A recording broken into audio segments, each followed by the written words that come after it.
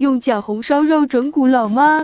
这个是我在网上买的假红烧肉，听说做出来比肉还好吃。待会儿我做出来给我弟弟尝一下，看看他是什么反应。先给他搞盘子里。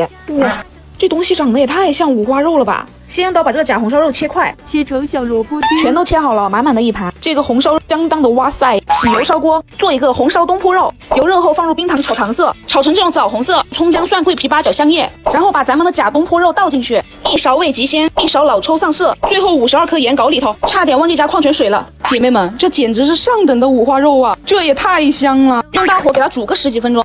Later，感觉差不多了，看一下，哇，这也太香了！给它摆盘装好，全都摆好了，最后把这个汤汁淋上去，哇，瞬间有味儿了。来个装饰，这一盘在外面不得卖一百呀？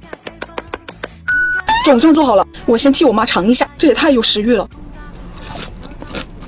嗯，有肉的那种口感，肥瘦相间，刚刚好。但这个有一点像变质了的肉，这个皮 Q Q 弹弹的，口感还是很好。但这个肉像坏了的肉，赶紧拿给我妈去尝一下。看看她是什么反应。